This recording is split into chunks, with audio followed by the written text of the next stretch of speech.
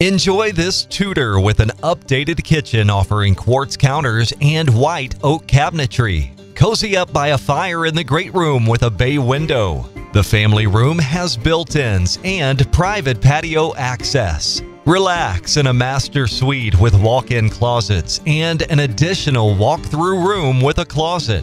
The fenced in backyard has ample privacy and plenty of nature. Plan a tour with Gabe Clemens today.